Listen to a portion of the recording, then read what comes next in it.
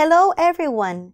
Today, as you listen to this message, I pray you find hope and the will to persevere in all you set your mind to do with the help and guidance of God.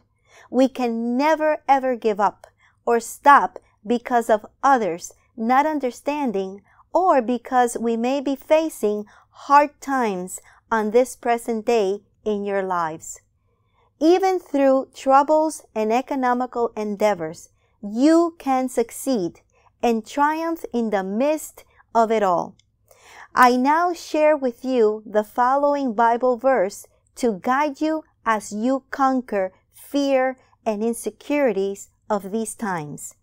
Matthew 5:10 says, "Blessed are those who are persecuted because of righteousness, for theirs is the kingdom of heaven." Think for a moment when you did the correct thing. People may not acknowledge, but our heavenly Father does. Reflect on those times and continue thriving. My name is Elaine Enriquez from One Vision Ministry. If you need prayer, you can reach out to us at ovmprayforme at gmail.com. God bless you.